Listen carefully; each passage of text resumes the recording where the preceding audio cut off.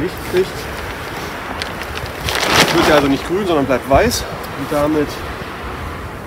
Ja, und dann stechen wir ihn halt ab vorher. Ja. Können ihn essen. Ganz schön, wenn man das einmal mal gesehen hat, einmal mal gemerkt hat, wie, Ja. was dahinter steckt. Ja, Achtung, fertig. Los und wir laufen wieder. Die äh, regionale Landwirtschaft in der Region ist natürlich ein Punkt, der mich als äh, Bundestagskandidat auch sehr interessiert. Mir gefällt das nicht, dass da der Fokus so ein bisschen verrückt ist und ähm, den möchte ich da gern wieder darauf zurücklenken. Auch vor dem Hintergrund von Klima- und Umweltpolitik ein wichtiges Thema. Regionale Landwirtschaft sind, bedeutet natürlich auch kurze Vertriebswege und die, die Produktion vor Ort und Versorgungssicherheit, das wissen wir gerade jetzt in Corona. Steffen, du hast einen Spargelbetrieb, du bist äh, Gemüsebauer. Ähm, ein ähm, Bereich, von dem ich überhaupt gar keine Ahnung habe. Ich komme von dem Forsthof. Erzähl doch mal zwei, drei Punkte zu dir und zu deinem Betrieb. Wo sitzen wir hier? Ja, erstmal hallo Carsten. Äh, wir sind hier natürlich mitten im Spargelfeld. Natürlich eine super Kulisse auch, um das Thema Gemüsebau noch ein bisschen in den Fokus zu rücken. Herzlichen Dank dafür auch, dass du dir die Zeit genommen hast, hierher zu kommen.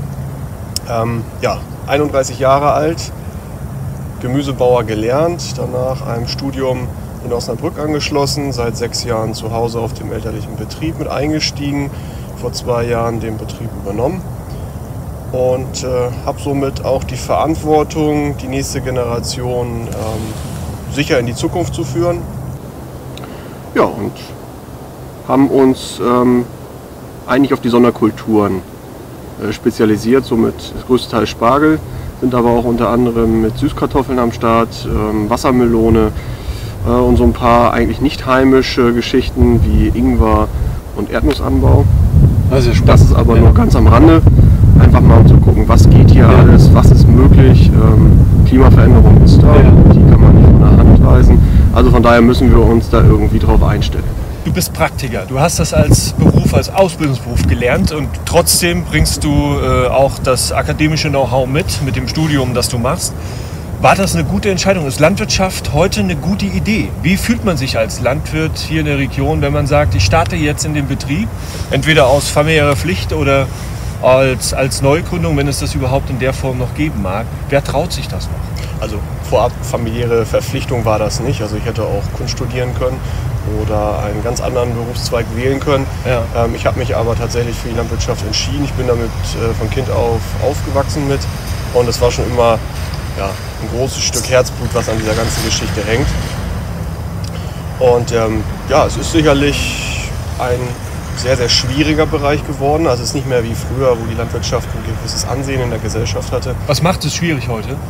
Ach, Das ist zum Teil medial, glaube ich, ein wenig ähm, diese Negativerhaschung, das Ausschlachten negativer Dinge in der Landwirtschaft. Die schwarzen Schafe gibt es überall, in der Landwirtschaft natürlich genauso. Und damit wird man dann immer stark über einen Kamm äh, geschoren. Wir sitzen hier in Kirchwalingen im Übrigen, das wollte ich noch mal erwähnt haben, für die äh, Menschen, die uns auch zuhören oder auch zusehen. Das ist ja ein Video-Podcast, also mittendrin im Wahlkreis. Genau, wir haben jetzt hier äh, ein schönes Spargelfeld, das sind rund drei Hektar Spargelfläche. Ja, Wir haben hier schon die ganze Vorbereitung getroffen für die kommende Saison. ja, Ähm, wir haben hier Erdwälle gemacht, haben dann die Folie aufgelegt, ja. Die im übrigens in diesem Fall hier schon 14 Jahre alt ist. Also wir sind hier ähm, uns der Ressource Folie sehr Ja. bewusst. Ja, ja, Und die werden bei uns zwei Kulturdauern eingesetzt. ja. Und danach äh, haben die noch ein drittes Leben in der Süßkartoffel, ehe sie recycelt werden. Für uns ist die Folie essentiell wichtig. ja. Sie ist wichtig dafür, dass wir natürlich eine Kultursicherheit darstellen können, dass wir die Flächen, die Spargelpflanze als solches verfrühen können, dass wir möglichst frühzeitig auch am Markt sind und auch eine Möglichkeit haben, mit der Folie auf Marktgeschehnisse einzugehen. Ja, also wir haben zum Beispiel, hier sieht man jetzt gerade die schwarze Seite oben, die sonnenliebende Seite, sagen wir Spargelbauern dazu ja. viel Wärme au- aufnehmen, um in den Damm zu transpor- transportieren. Und die andere Seite ist weiß. ja. Das heißt, wir können also auch in sehr heißen Sommern mit viel Sonneneinstrahlung ein wenig die Temperatur im Damm regulieren. Ja, Spargel, ein wahnsinnig beliebtes Gemüse. Ich esse das im Übrigen auch sehr, sehr gerne. Ich freue mich immer, wenn die Spargelsaison losgeht. Ist ja nur sehr kurz. Wenn ich an Gemüsebauern denke, dann denke ich ich auch immer an die, an die Landwirtschaftshelfer. Und äh, in den Gesprächen mit, gerade mit Gemüsebauern äh, wird mir immer wieder zugetragen, viele deutsche Landwirtschaftshelfer gibt es gar nicht mehr. Die wollen den Job gar nicht mehr machen. Wie machst du das auf deinem Betrieb? Wen hast du hier? Ja, hier ist es ein sehr, sehr harter Job. Ja. Das muss man ohne weiteres anerkennen. Ähm, egal, ob es Deutscher, ein deutscher Mitarbeiter oder eine Saisonarbeitskraft aus dem Ostblock ist. ja. Ostblock heißt, woher kommen die Mitarbeiter in aller Regel? Früher war es natürlich Polen. Ja. Und das ist jetzt äh, natürlich auch Rumänien, Bulgarien, äh, zum Teil aus Lettland, ähm, Estland, äh, Ja. wo Mitarbeiter akquiriert werden, die hierher kommen, um hier vor Ort das zu stechen, ähm, wofür sich der Deutsche vielleicht sogar auch ein Stück weit zu schade ist. Ja. Okay. Ähm, Spargel ist ein ganz tolles Gemüse. Wir haben hier weit über 90% Selbstversorgungsgrad in Deutschland. Das gibt es nicht bei vielen Gemüsearten, die wir hier selber anbauen. Also auch eine relativ wichtige Sache. Aber viel wichtiger ist natürlich aber auch die Manpower, um den Spargel zu stechen. Und ähm, darauf kann man so ein bisschen mit betrieblichen Maßnahmen Einfluss nehmen, indem wir zum Beispiel, man sieht es jetzt hier gerade zwischen uns, ist ein Wahnsinnsabstand. Wir haben den Abstand zwischen jeder einzelnen Spargelreihe erhöht, Ja. haben aber hier in dieser einzelnen Reihe zwei Spargelreihen nebeneinander. Ja. Das heißt, wir können ressourcenschonender arbeiten. Das heißt, wir brauchen weniger Folie für die gleiche Fläche. Wir brauchen weniger Wasser, weniger Dünger und natürlich auch weniger Personal. Das heißt jetzt nicht, dass ich Personal rausschmeiße oder rausgeschmissen habe. Darum, das ist absolut nicht das Thema.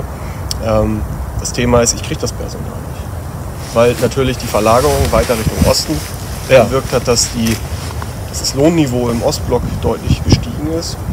Okay. Die auch vor Ort attraktive Jobs finden. Ja. Und wenn man ganz ehrlich ist, man kann es auch verstehen. Die Leute kommen hierher, sind sehr lange von zu Hause weg, von der Familie weg, von den Freunden weg, von dem sozialen Umfeld weg. Klar. Und für die ist das natürlich ähm, eine Sache, wo sie sagen, 200, 300 Euro mehr jetzt im Monat. Soll ich Ja. jetzt nach Deutschland kommen oder nach Holland fahren oder nach Österreich oder in die Schweiz, dann bleibe ich doch lieber zu Hause. Das heißt, so unter Kulturen verlagern sich auch Richtung Osten, Richtig. wo das Lohnniveau entsprechend niedriger ist, Richtig. aber durch die wegfallenden Reisekosten und Entbehrungen sagen die Leute, sie bleiben da. Genau, es geht weit Richtung Osten, das ist natürlich auch ein großer Punkt Subventionspolitik. Ja. dass mit den EU-Subventionen natürlich eine Wahnsinnsverlagerung gen Osten passiert. Gibt es einen Sparkelstechroboter? Kann man das auch von, also per Technik erledigen, diese Arbeit? Genau, also diese ganze Thematik Mechanisierung im Ja. Spargelanbau, ähm, wir haben sie vor etlichen Jahren äh, vorangetrieben, haben da auch Bundesgartenbaupreise für bekommen. Dein Betrieb? Ja, genau, unser Betrieb, ähm, weil wir da eben Pionierarbeit in Sachen äh, Spargelstechtechnik äh, entwickelt haben. Das war damals ein erster Ansatz. Das Ja. hat sich, die erste Idee hat sich nicht, nicht allzu weit durchgesetzt. Die zweite darauffolgende, eine auch vollmechanische Geschichte, hat sich aktuell sehr gut äh, gezeigt. Die nutzen wir seit vielen, vielen Jahren Mhm. Und können damit natürlich eben dem, dem Mitarbeitermangel ein Stück weit ähm, ausgleichen. So hochaktuell ist ja gerade, das weißt du ja auch, ganz sicher sogar ähm, die, die Landwirtschaftsproblematik auch in Berlin. Stichwort Trecker-Demos. Ich stehe ja mit vielen Landwirten in Kontakt. Ich habe Milchviehbetriebe besucht, das weißt du. Und ähm, da ist natürlich viel Druck auf dem Kessel. Viele Landwirte sehen da keine Perspektive oder sehen ihre Zukunft in Gefahr. Äh, hier in Niedersachsen haben wir den niedersächsischen Weg ausgehandelt zwischen Politik, Landwirtschaft, aber eben auch Naturschutzverbänden einen Kompromiss gefunden, bei dem wir alle gemeinsam anfassen wollen. Weil das Thema wichtig ist und das Thema auch in der Landwirtschaft wichtig ist und schon immer wichtig war. Nachhaltigkeit ist ja keine Erfindung der Grünen. Also ich habe ja vorhin gesagt, ich komme von dem Forsthof. Nachhaltigkeit ist ein klassisch forstwirtschaftlicher Begriff. Du hast vorhin erzählt, auch deine Folien äh, benutzt du, solange es irgendwie geht und mehrjährig und dafür sind sie ausgelegt. Also ist das eigentlich alles in der Landwirtschaft schon von Haus aus tief verankert. Was macht das mit dir, mit deinem Betrieb, wenn du daran denkst, Quo Vadis Landwirtschaft? Also tatsächlich, wenn ich die Ergebnisse sehe, die die Trecker-Demos erzeugen, muss ich sagen, demonstrieren wir noch zu wenig. Es müsste noch harscher werden. Vielleicht müssten wir uns den Franzosen ein Stück weit annähern oder uns da mal eine Scheibe abschneiden, dass es scheinbar Gehör findet. Wenn ich jetzt sehe, wie Was machen die Franzosen? sind etwas extremer in ihrer aus, äh, ausgeprägten Demonstrationsweise. Okay, okay. Und ich, ich habe das Gefühl, Also du stellst auf die Vehemenz ab, weniger wahrscheinlich auf Gewalt oder sowas. Nein, Darum Vehemenz. soll es nicht gehen, sondern auf Durchhalten und vehement am Thema bleiben. Ja, okay. Ähm, der niedersächsische Weg war, ist super. Das kann ich jetzt so sagen. Mit dem Ergebnis können die meisten Landwirte leben. Ja. Gibt da sicherlich noch mal die ein oder andere Feinheit, die man noch nachjustieren muss. Aber das ist bei jeder Gesetzgebung ähm, grundgegeben, dass man da noch in einzelnen Bereichen vielleicht noch mal anfassen muss. Und jetzt kommt von Frau Schulze da eben eine andere Sache von hinten rum und konterkuriert eigentlich das Ganze, was wir da ausgearbeitet haben, eigentlich einem Pilotprojekt, an dem sich andere Bundesländer anhängen könnten. Also es geht um Artenschutz, Artenschutz. Im, in, in der Bundespolitik, im Umweltministerium. Das ist das, was jetzt in den Vordergrund gerückt wird, äh, was aber die Landwirtschaft ohnehin auch schon immer eigentlich beachtet hat. Fand ich von den Grünen jetzt das aktuelle Zitat höre, ich hole mir lieber Braugerste aus Italien als ähm, aus, dem Nachbar, aus der Nachbarregion. Dann frage ich mich, ähm, hat man da die, Zeit, die Zeichen der Zeit nicht verstanden. Das muss ich ganz klar so sagen.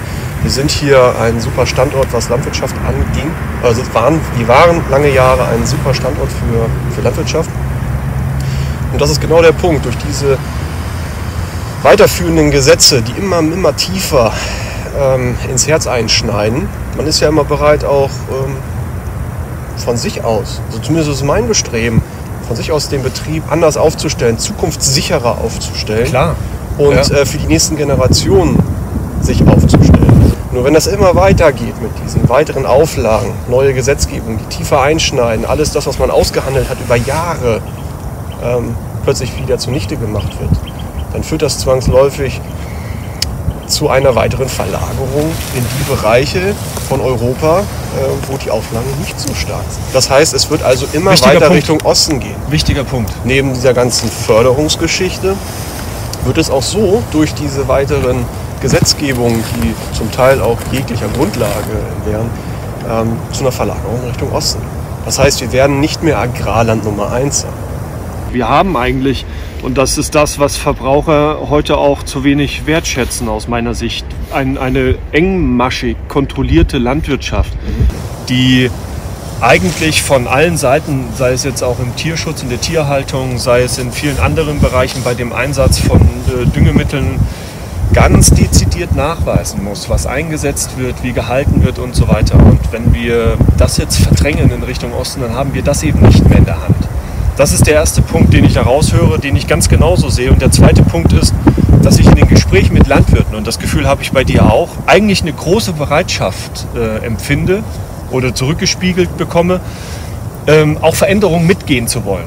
Dass das gar nicht das Problem ist. Aber ganz viele Landwirte sagen mir, ich mache das ab morgen auch alles in Bio, auch alles in Öko. Wenn, wenn das die Gesellschaft möchte, ist das in Ordnung. Ich brauche nur zwei wesentliche Dinge. Ich brauche Investitionssicherheit von politischer Hand. Also ich muss wissen, dass das, was in meinem Betrieb passiert, auch mal zehn Jahre Bestand hat. Und dass ich nicht zum Spielball politischer Interessen werde. Und ich brauche eine, einen Verbraucher, der das auch anerkennt, der dann auch ähm, dieses Produkt in, ihr, in seiner Qualität auch schätzt und auch bereit ist, dafür Geld auszugeben. Ist das im Spargelbau genauso? Ähm, Im Endeffekt ist es immer noch ein Ticken zu gering. Natürlich sagt das jetzt auch ein Kuhbauer oder ein anderer Gemüsebauer, aber es ist einfach, es zeigt einfach einen allgemeinen Trend in der, in, in der äh, Ernährungserzeugung in Deutschland, dass einfach zu wenig für die Produkte bezahlt wird. Man kauft lieber das billig importierte aus dem europäischen Ausland. Und damit holt man sich eigentlich ein nicht kontrolliertes, wenig zertifiziertes Produkt äh, ins Land. Ja. Und ganz der Kunde klar. steht davor und sagt, Bio ist doch Bio. Ja. Aber Bio aus Spanien ist nicht Bio wie in Deutschland. Ja. Das sind unterschiedliche Standards, unterschiedliche Grundlagen. Ja, okay. Und das ist zum Beispiel auch der Punkt, warum ich mich gegen. Ich bin zwar QS-zertifiziert, aber du wirst es bei uns niemals auf einer Verpackung sehen. Ja. Ich werbe da nicht mit offensiv. Ich Ja. muss es machen, um äh, zwei größere Kunden beliefern zu können. Für mich ist das aber kein, nicht ausschlaggebend. Ich brauche nicht eine Zertifizierung neben der nächsten Zertifizierung, sondern ich gehe bei und sage meinen Kunden, kommt her, ihr könnt jederzeit bei mir auf den Betrieb kommen. Ich habe eine gläserne Produktion, schaut es euch an, stellt eure Fragen, die ihr wollt. Wenn ihr wollt, könnt ihr auch hinter den Heizöltank gucken oder ähm, unter meinem Kopfkissen gucken. Da bin ich offen und ehrlich und jeder kann es sich anschauen und sich davon überzeugen und auch überzeugen lassen gegebenenfalls, dass ähm, wir eine super Produktion haben, die zum einen nachhaltig ist, zum anderen auch äh, ökologisch vertretbar ist natürlich auch gewinnbringend ist. Ja. Nicht alles, was nicht bio ist, ist ja gleichzeitig auch umweltschädlich. Das gehört ja auch noch mit dazu. Und ich möchte nicht, dass eigentlich, äh, dass wir wie selbstverständlich für 60 Euro den Liter Motoröl in unsere Fahrzeugmotoren kippen und dann eher da noch 10 Euro mehr zahlen, weil es dann Long Life oder besonders toll ist. Und dann fahren wir aber in den Discounter und kaufen das Kilo Schweinemett für 2,99. Da stimmt für mich persönlich das Verhältnis nicht. Für mich steht das Lebensmittel im Vordergrund. Und das ist auch das, was ich eigentlich aus den, aus den Landwirten, auch gerade aus, auch aus, den jungen, aus der jungen Generation, die ja eigentlich auch unser Denken haben, immer wieder heraushören. Von daher vielen Dank für das Gespräch, das wir Sehr heute gerne. führen durften. Vielen Dank für das Vor-Ort-Gespräch hier. Wir machen eben keine Studiensituation, sondern wir wollen draußen sein. Wir wollen da sein, wo ihr das ganze Jahr arbeitet. Und ich freue mich, dass wir hier in der Spargelreihe sitzen dürfen. Und ich kann nur auch noch mal äh, den einen oder anderen, der das Video sieht, dazu animieren, kauft bei unseren regionalen Landwirten ein. Das, das ist unsere Stütze im ländlichen Raum. Das ist nicht nur Wirtschaftskraft, das ist auch unsere Seele auf dem Land. Und äh, wenn wir hier einkaufen, dann unterstützen wir genau diese Menschen, die sich viele Gedanken machen um unsere Region und um unsere Heimat. Carsten, vielen Dank, dass du da warst. Wir sehen uns ja noch ein zweites Mal wieder, wenn du dann zum Spargelstechen kommst. Ja, warum nicht? Gerne mal. Dankeschön. Super.